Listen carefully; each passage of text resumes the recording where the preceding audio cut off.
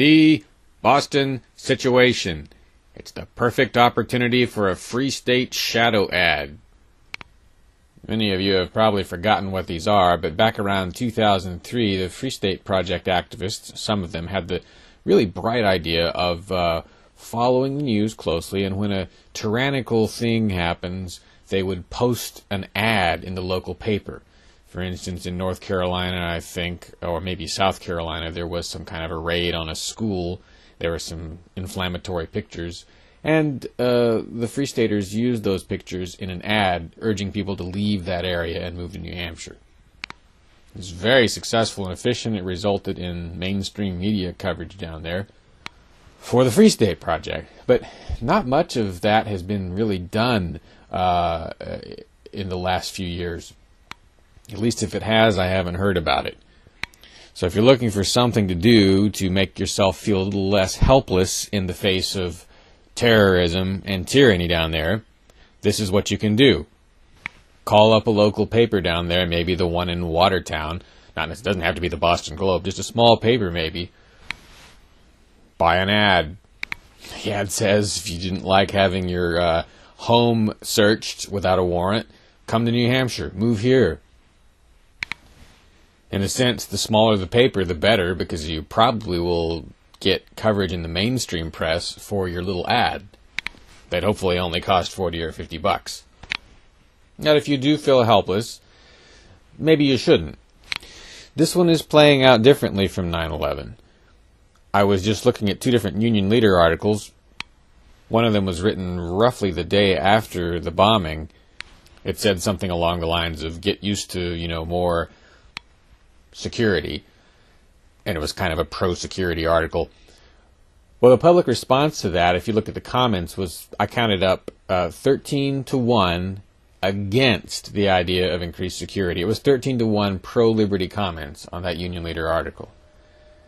Now, a few days later, around April 17th or 18th, uh, Union Leader Puff piece appeared praising basically the Manchester Police Department, which apparently had some sort of involvement. It almost made me think of some of the fawning British newspaper coverage of the Somme offensive in 1916.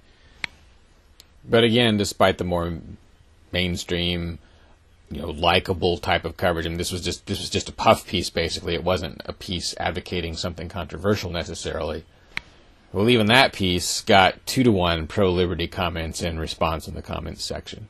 And again, the union leader is going to have our you know viewers who are a little bit more conservative, but those are the type of people that don't like terrorists, right? So I think it's a fairly good place to go for a bellwether sense of what people are thinking.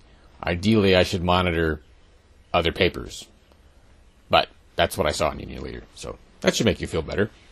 I do want to, though, express a little bit of credit where credit is due.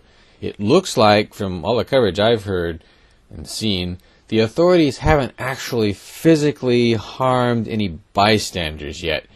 And I don't, I didn't get the sense there was much property damage either. So some limited credit goes there where it's due. If that many cops were stomping around an area and there weren't any, they didn't shoot anybody, that's a start. It's better than LA.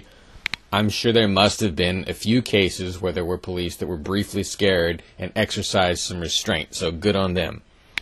However, you know, there are abuses, and there are many that we probably haven't heard about yet, some we will never hear about.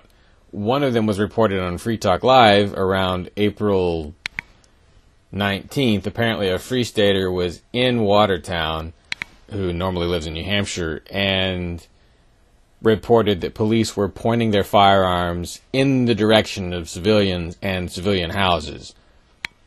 She said she'd never seen such improper use of firearms.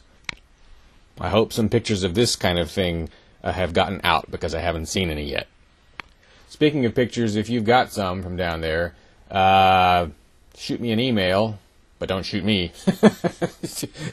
Send an email to ridleyreport at live.com and let me know what you've got, where to find it, and uh, grant me permission to use it without restriction on the Ridley Report, and I probably will here and there.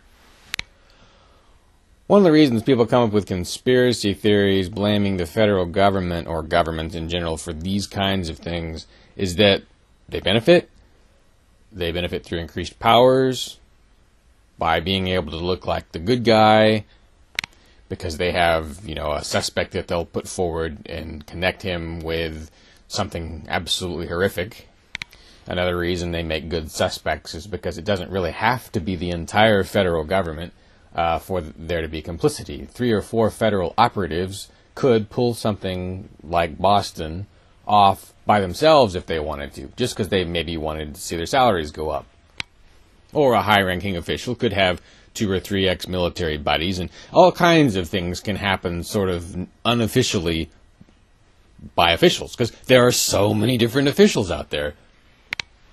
That's why they're suspected. Mostly, though, because they benefit. We don't want to ever be in a position where we're perceived as benefiting from these kinds of wicked acts. On the other hand, we do want to make sure that when they happen, we're able to come out stronger on the other end if we can. For instance, the way American uh, America came out, maybe you could say stronger after World War II than it was before World War II. But we definitely can come out of these kinds of events stronger. It's not natural for that to happen, but we can make it happen if terrorism and tyranny pushes us toward greater liberty activity. If instead of watching the television and feeling as though we are being acted upon, we simply default to action, reaction, counteraction, whatever you want to call it, then we come out ahead every time one of these things happens. Not naturally, but through willpower and resilience. Reacting properly. Speaking of reacting properly, that's what I think you should do right now. Stop listening to this Ridley O, although maybe you listen to the ad at the end but go uh, uh, uh, straight from this Ridley-O to your computer, your sign making machine, your car. I don't know where it is you go to get to the ne- nearest liberty endeavor that you can engage in. But that's what you should do. Do some pro liberty activity in the next hour. That's therapeutic. And it's part of deterring attacks like this.